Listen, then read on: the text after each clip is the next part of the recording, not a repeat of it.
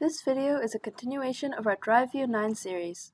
For more videos on the DriveView 9 software, click the link in the description box below or click the eye in the top right corner of the screen. This video will be about connecting the G100 and M100 drives to DriveView 9. These drives can use the LSIS USB to RS485 converter. Plug the USB into the computer and plug the other side into the RJ45 port on the drive. At first connection, let the driver install. This may take a few minutes.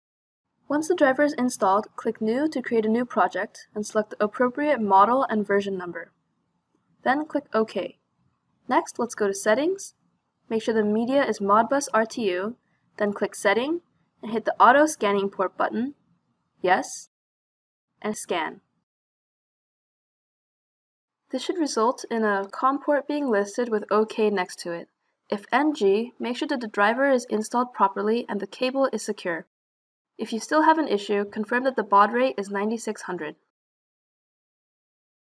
Then we can click Connect to connect to the drive. If there is a warning about mismatched versions, click Yes. After a successful connection, the bottom bar will turn green, and you can now read and write parameters.